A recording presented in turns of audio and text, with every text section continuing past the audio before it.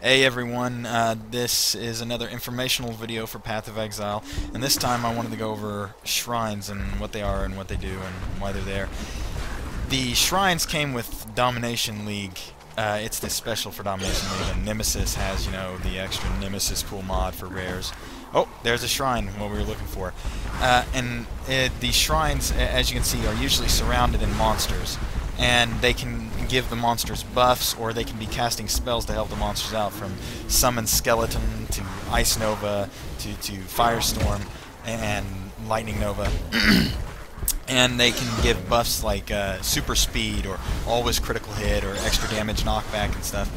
And uh, so usually when you come upon them, you'll see that little image on your little minimap, and uh, when you come upon them, they're usually covered in those monsters, so be careful because they can be extremely strong due to the buffs.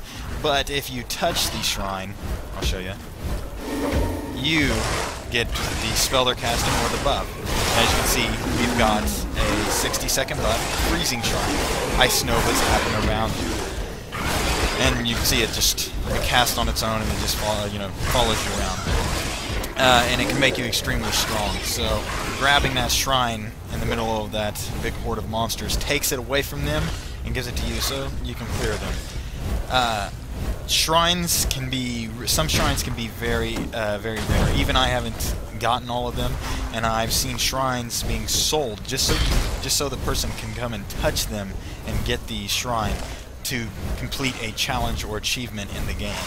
Uh, people sell them, the rarer shrines.